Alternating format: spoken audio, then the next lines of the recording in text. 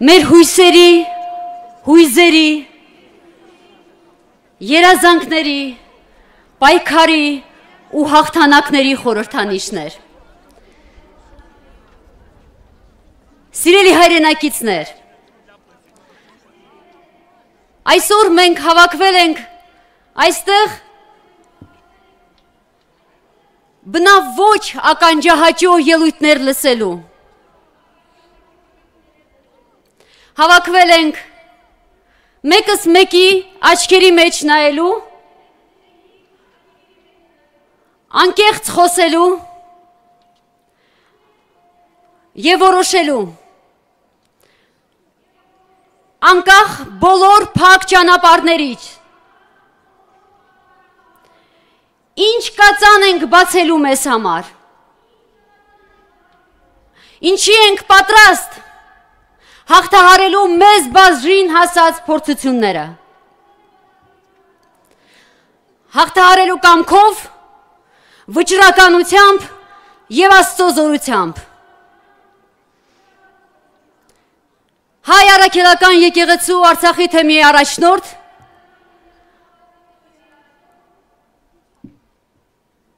Վրթանես եպիսկոպոս Աբ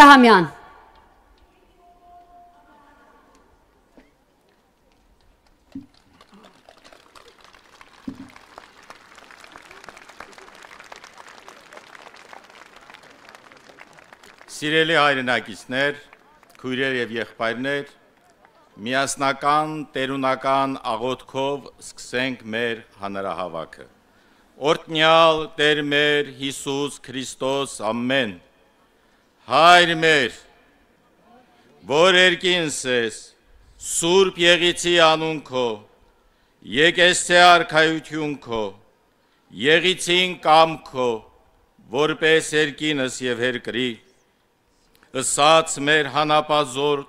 տուր մեզ այսօր եւ թող մեզ սպարտիս մեր որպես եւ մենք թողունք մերոց պարտապանած եւ մի տանիրս մեզի փորձություն այլ փրկյազ մեզի չարեն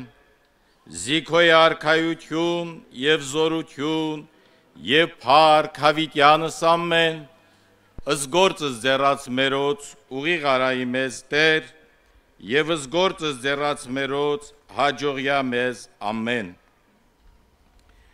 Սիրելի հայրենակիցներ, քույրեր եւ եղբայրներ, այսօր մենք հերթական անգամ համախմբվել ենք Մայրաքաղաք Ստեփանակերտի վերածննդի ազատության հրապարակում առաջին հերթին ինքներս մեզ եւ ապա արտաքին աշխարհին ցույց տալու մեր միասնականությունն ու վճռականությունը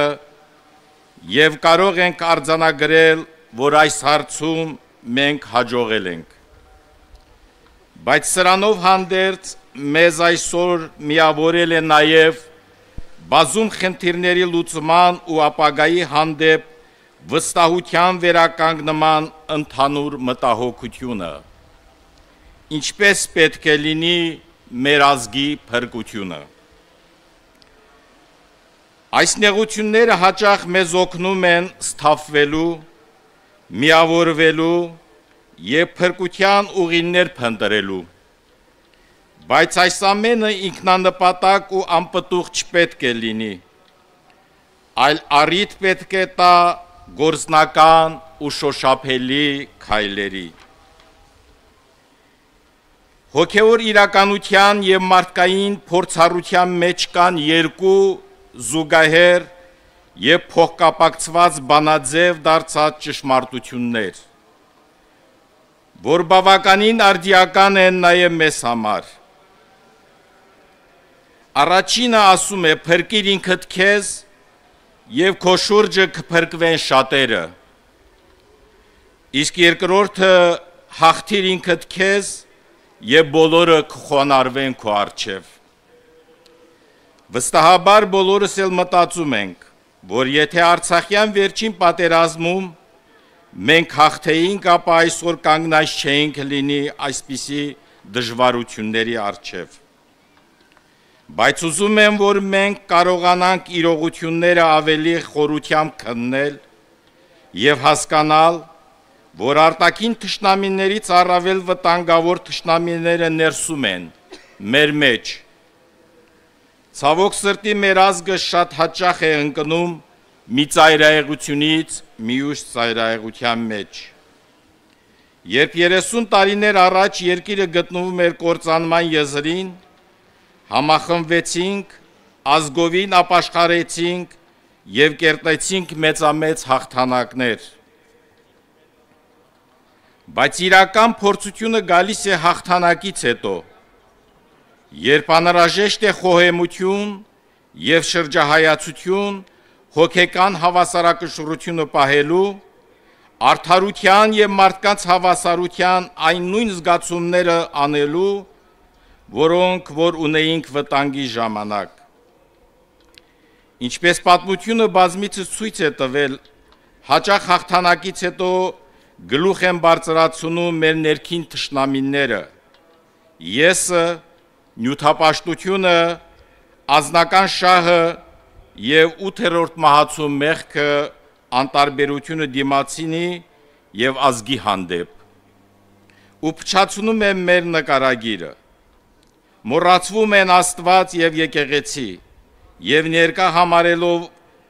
ներկան համարելով որպես վերջնական եւ մնայուն մի վիճակ բոլորը սկսում են աշխարհի գանձերը գերադասել երկնային գանձերից Ահա այս մահացու շրջապտույտից դուրս գալը պետք է լինի ազգային մեր կյանքի հիմնական խնդիրը։ Եվ եթե կարողացանք հաղթել վերը նշված ներքին ճշնամիներին, ապա որևէ արտաքին թշնամի չի հանդգնի գործ ունենալ մեզ հետ։ Իսկ ինչպես պայքարել դրանց դեմ։ Մեր հավատքի զորագլուխը Հիսուս Քրիստոս 2000 տարիների վեր գրկաբաց կանչում է բոլոր անհատներին եւ ազգերին, տալով նրանց ճշմարիտ հաղթանակի եւ փրկության բանալին։ Ես եմ ճանապարհը, ճշմարտությունը եւ կյանքը։ Սիրելի այրնակիցներ, այսօր երբ Արցախը թշնամու կողմից ենթարկվել է ֆիզիկական շրջափակման եւ երբ մեր շուրջը բոլոր ճանապարհները փակ են, մեր հայացքները ուղենք դեպի վերև եւ տեսնենք, որ դեպի երկինք տանող ճանապարհները միշտ էլ բաց են։ Աշխարից մեկուսացած լինելու այս օրը առիթ են մեր ինքնամաքրման ու միասնականության վերականգնման համար։ Ոստի սկսենք իրար ավելի շատ սիրել, ներել ու գնահատել, որևէտե բոլորս էլ նույն նավի մեջ ենք,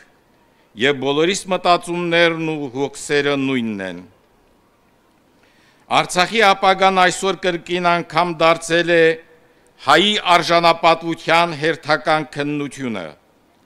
Եվ որպեսի այդ քննությունը ստանա պատվաբեր գնահատական, պետք է ազգովին սթափվենք ու զգաստանանք։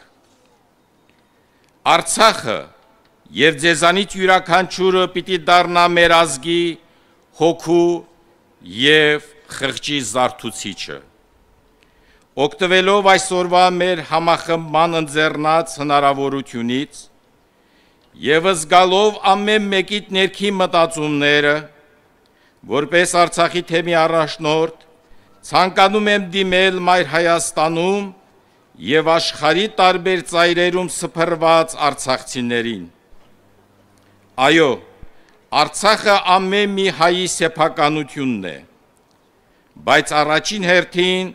կարիքն ունի իր ծոցից ծնված զավակների Արցախն այսօր իր համար աղոթելուց Արցախի Արցախցի լինելու հանգամանքով հպարտանալուց առավել ունի իր բնիկ զավակների ֆիզիկական ներկայության կարիքը։ Ոստի սիրելի արցախցիներ, նայեք ձեր հոգու ներսը, փորձեք հասկանալ, թե Աստծո մոտ ինչ պիտի այս կյանքից շահեք, եթե կորցնեք ձեզ վստահված գանձը, ձեր ինքնության հենարանը։ Խնդրում եմ եւ հորդորում. Վերադարձեք Արցախ եւ տեր կանգնեք ձեզ վստահված այս սրբազան մասունքին։ Արցախում նախքան պատերազմը,